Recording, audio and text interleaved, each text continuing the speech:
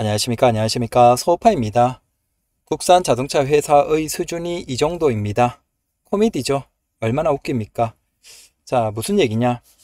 국산 자동차 회사는 비공식적으로 사실상 공식이죠. 그 충전에서 어댑터를 굉장히 위험하게 생각합니다. 그래서 어댑터 사용 자체에 대해서 적극적으로 제한을 하고 있죠. 하지만 이건 국내에서 사실 인정을 받은 것이기 때문에 문제가 없거든요. 그리고 실제 테슬라는 CCS 콤보 1 어댑터 이렇게 해서 37만 4,990원 팔고 있어요.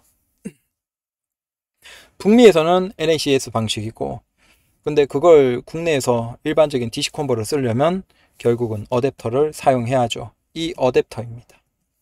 자, 이걸 DC 콤보에 꼽고 그 다음에 이걸 테슬라 차량에 꼽는 거죠. 어쩌겠습니까? 그런데 재미있는 상황이 벌어집니다. 북미는 NACS 방식으로 대통합이 되어가고 있습니다.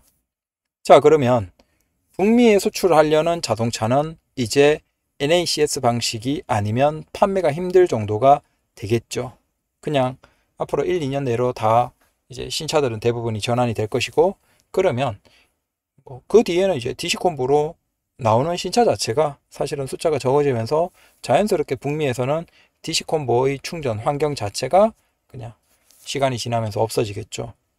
당연히 테슬라가 제시하는 이 NACS 방식으로 대통합이 되는 거예요. 자, 그러면 북미의 차를 팔기 위해서는 이제 NACS 방식으로 제공을 해야 돼요. 그럼 이제 다시 한번 해봅시다.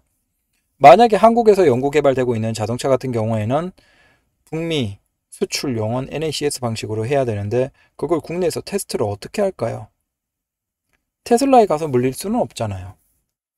그러니까 어이없게도 국내에서 북미로 수출하려는 그 자동차를 네, 테스트카를 NACS 방식으로 충전 소켓이 이미 갖춰져 있고 거기에 국내에서 어떻게 하겠어요?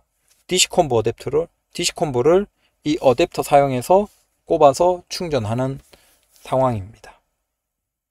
그러면 이상하죠. 이 어댑터가 위험하다라고 얘기하던 회사가 정작 지들이 이제 차 팔, 북미의 팔차를 연구 개발하는 과정에서는 이렇게 어댑터를 사용해서 충전을 하고 있습니다.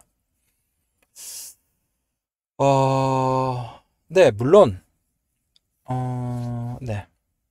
그냥, 결국은 그 기존의 어댑터 사용하는 걸 적극적으로 제한할 때 다 얘기를 했죠. 아니다, 이거 어댑터 문제는 없다. 그리고 이건 인정받은 것인데 이게 위험할 수가 있냐? 라고 했음에도 불구하고 국내를 지배하고 있는 기업 입장에서는 그렇게 했고 당연히 소비자들은 불편을 경험하는 것이죠. 테슬라 소비자들은.